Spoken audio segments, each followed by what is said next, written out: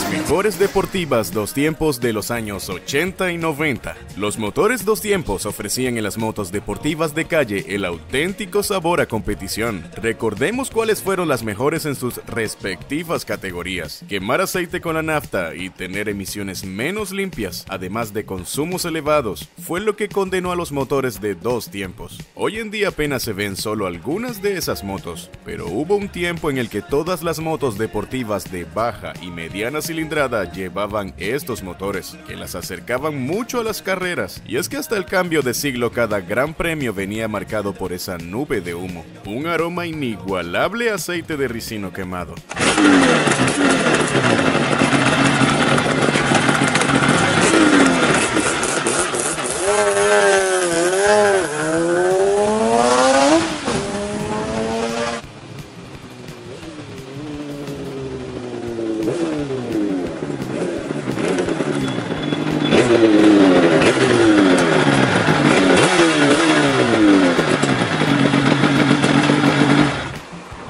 Podías soñar con estar en tu propio GP y de paso triunfar de las prestaciones de un motor de carreras con tu moto de calle. Podía ser una 80 o una 125 y a partir de ahí las cosas se ponían serias, con motos que corrían como las primeras Super Sport, pero pesaban mucho menos. En los años 80, los jóvenes ansiaban cumplir los 16 años para obtener el carné A1 y adquirir motos de hasta 74 cc, como las populares 80s. La llegada de motos japonesas como la Honda Hurricane y posteriormente la Yamaha TZR y RD revolucionó la categoría con motores más rápidos y avanzados. La Yamaha TZR 80RR destacó con su motor derivado de los motocross y competición y su potencia cercana a los 14 cb, superando a sus rivales. Se convirtió en la motocicleta de referencia en la década. En Italia los jóvenes podían conducir motos de hasta 125 cc y las deportivas del octavo de litro evolucionaron rápidamente. Las mejores motos ofrecían más de 30 cv, pesaban menos de 120 kilogramos en seco y contaban con un buen equipamiento en chasis, suspensiones y frenos. A medida que avanzó la década de los 90, la categoría experimentó pequeñas evoluciones y cambios exteriores, pero los motores seguían rodando los 12 cv de potencia. Finalmente, los cambios en los carnés de conducción hicieron que esta categoría perdiera sentido, pero las motos icónicas de la época, como la Yamaha TZR 80RR, dejaron una huella imborrable en la historia de las motocicletas deportivas de iniciación.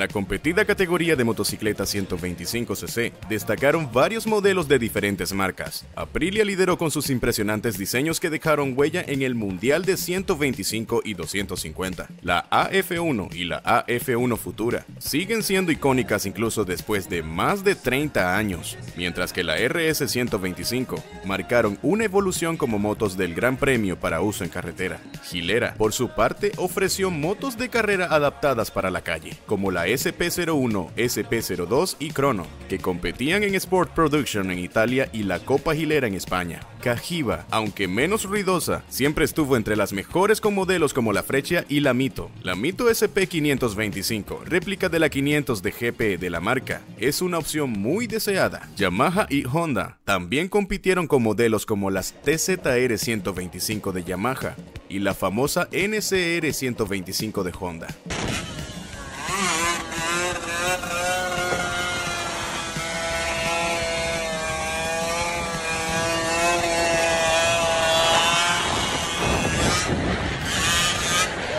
Esta última aún buscada y usada en todas sus versiones. En definitiva, fue una época con una amplia oferta de emocionantes motos 125cc para todos los gustos y estilos de conducción. Sin dudas las inolvidable, la Yamaha RD350LC, una moto moderna de dos tiempos con prestaciones notables. Fue extremadamente popular en España desde 1985. Con sus 600 CV y 140 kilogramos, se ganó la reputación de ser una mata gigantes a un precio accesible. Sin embargo, su entrega de potencia no perdonaba errores, lo que la hizo famosa pero también polémica.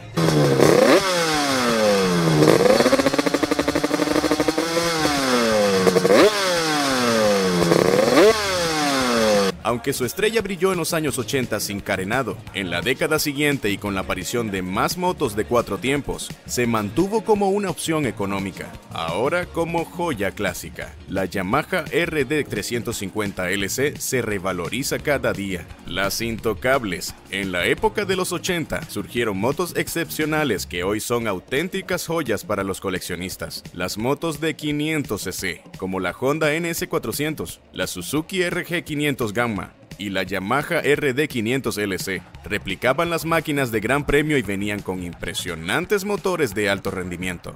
La Honda NC400 presentaba un potente motor V3, similar al utilizado por la NSR 500, con el que Freddie Spencer se convirtió en campeón del mundo en 1983. Con más de 70 CV y un peso de aproximadamente 160 kilogramos, era una máquina formidable y codiciada por los amantes de las motos clásicas. La Suzuki RG500 Gamma, por otro lado, llevaba un motor 4 en cuadro, similar al de las motos de la marca en la clase reina, con válvulas rotativas, aunque la versión de competición era aún más potente con 130 CV. La versión de calle todavía ofrecía impresionantes 95 CV para poco más de 150 kilogramos en seco.